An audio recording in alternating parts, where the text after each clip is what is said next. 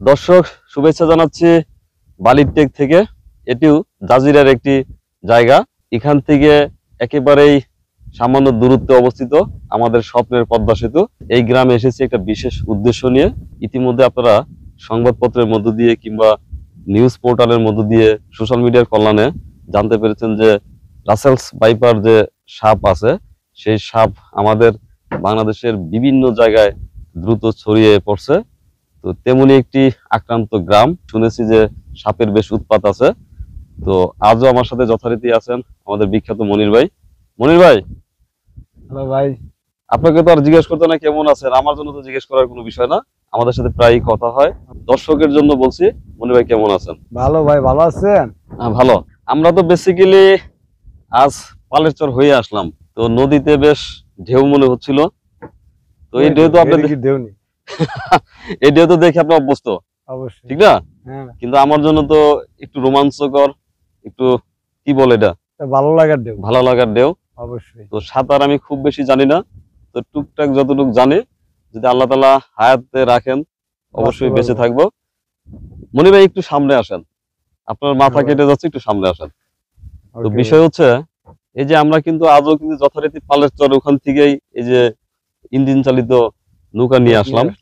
একটু যদি আপনি তো আসলে সবসময় সৌন্দর্যের মধ্যেই থাকেন তো আমরা পালের চর যখন পার হচ্ছিলাম হ্যাঁ। দেখলাম নদীতে বেশ ঢেউ। তো একটু আপনার কাছে শুনব যদি আপনি এখানে সবসময় থাকেন কেমন লাগল বলেন? ভাই খুব ভালো লাগে। এটা ভালো লাগার সময়। আর এটা হলো নদীর যৌবনকাল ঠিক আছে? এটা নদীর যৌবনকাল নতুন পানি আসছে একটু পানি দুলবই। এটা ভালো লাগার বিষয় এটা প্রত্যেকটা মানুষেরই ভালো লাগবে দেখার মতো জিনিস। আচ্ছা তো এবার আমার অভিজ্ঞতা বলি। যেহেতু এই যে আমরা যেখানে দাঁড়িয়ে আছি এটা কিন্তু একেবারেই মুন্সিগঞ্জ এবং শরীদপুরের মধ্যবর্তী সীমানা। মানে আমাদের এই পাশটা না, না, আরও বহুত আছে। না না বহুত বলতেছি না। ভৌগোলিক দূরত্বের কথা বলছি না। মানে এটা তো একেবারেই কাছাকাছি। এই যে এই- এই যে এই পাশে হচ্ছে মুন্সিগঞ্জ এই হ্যাঁ, পাশে হচ্ছে অবশ্যই। ওরকম একটা জায়গায় আমরা আছি তো। হ্যাঁ, এই যে আজকের যে পানি দেখলাম আজকের যে ঢেউ দেখলাম আজকের যে নদীর যে অবস্থা দেখলাম এই যে এখান দিয়ে আমি দেখছিলাম যে অনেকে মাছ ধরছেন বা অন্য কিছু করছেন হ্যাঁ, যে প্রাকৃতিক সৌন্দর্য মানে আমি কিন্তু এই পরিবেশের সাথে খুব বেশি পরিচিত। কারণ হচ্ছে যে আমি বিক্রমপুরের শ্রীনগর যে গ্রামে বড় হয়েছি সেই গ্রামের দৃশ্যগুলো আমার কাছে আজ মনে হলো। কারণ ওখানে পানিগুলো কেমন টলটল করতো। তার মাঝখানে আমরা শ্যাওলা দেখলাম। আপনি বললেন যে। শ্যাওলা একটা ছবি নেন না কেন? হ্যাঁ, তো এটা কিন্তু আমার খুব পরিচিত দৃশ্য। হয়তো অনেক বছর পরে দেখলাম ভালো লাগে না বেশি কাজ করছে। ওখানে দেখলাম ডুবে এক ছেলে মাছ ধরছে। অনেকে মাছের জন্য অপেক্ষা করছে কেউ অন্যান্য কাজ করছেন। তারপরে অনেকে বলে যে পালের চরে পানি হবে কিনা। তো আমি আপনার মুখেই শুনতে চাই। এখন তো বর্ষার একেবারে শুরুর দিকে। হ্যাঁ, যে আমরা যে আসলাম ক্যামেরাতে বেশ কিছু দৃশ্য ধারণ করলাম। তো দর্শক তো দেখছেন। এখন এই পানিটা তো ওই আমরা যেখানে ধান রোপণ করেছি ওখানে তো পানি উঠে নাই। না না ওখানে পানি ওঠে না। এখন পর্যন্ত উঠে নাই। আমরা পাশ দিয়ে আসছিলাম এই যে আমাদের যে জমিগুলো সেগুলো এই ডান পাশে ছিল। হ্যাঁ তো এখানে পানি উঠতে গেলে আর একটু সময় লাগবে। আর আমরা যে ধান রোপণ করেছি যদি পূর্ণভাবে সে পানির উপরে মাথা জাগাতে পারে তাহলে মাসাল্লাহ হয়ে যাবে। তাহলে মাসাল্লাহ হয়ে যাবে। তো মনির ভাই হ্যাঁ এখন তো আমরা যাচ্ছি আর এক কাজে। তো ভিডিও মনে লং হয়ে গেল। এই ভিডিওটা আমি একটা আলাদা পার্ট করব। কিন্তু আমরা এখন যাব হচ্ছে বালির ট্যাগ বালির টেক।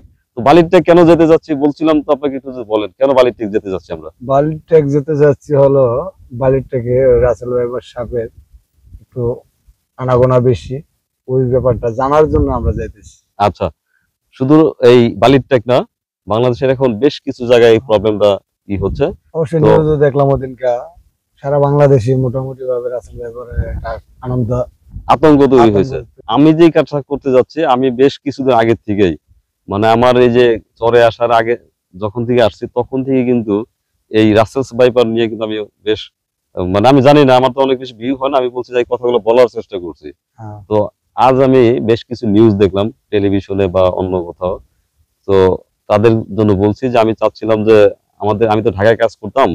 তো ঢাকার হেড অফিস থেকে যদি যারা এই বিষয়ে ভালো জানেন তারা যদি আমাদের এই প্রত্যন্ত এলাকার মানুষের দুর্দশার বা আতঙ্কের গল্পগুলো মানুষের কাছে তুলে ধরেন।